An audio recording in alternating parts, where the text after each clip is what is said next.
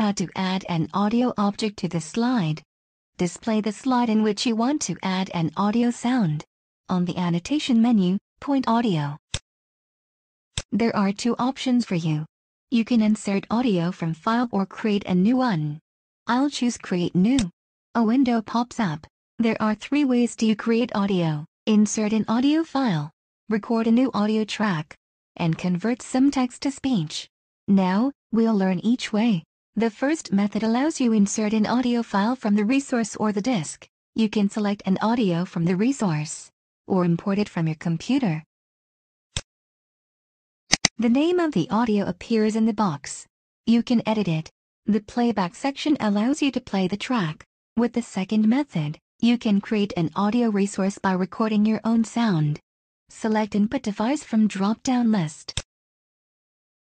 Click Calibrate Input button to calibrate the input sound level if need. This dialog can be used in two different modes.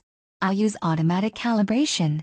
Hello, I'm speaking so that ActivePresenter can automatically optimize.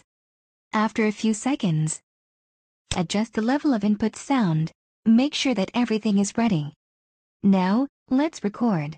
Click record icon to start recording. This is the recording section, where you can create an audio by recording your sound.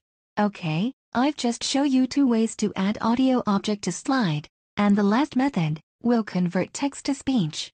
Click in the box and type any text here. Alternatively, copy text from other document and paste it.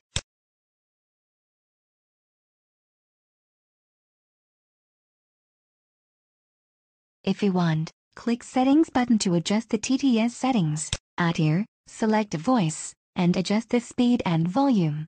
The Reset button at the top restores the default settings. To check out the settings, click on the Speak button. Later, during the edit phase, you can add audio objects to the slide in four different ways. OK, click Generate button to convert. As you can see, the text is converted to speech. Click OK when you're done.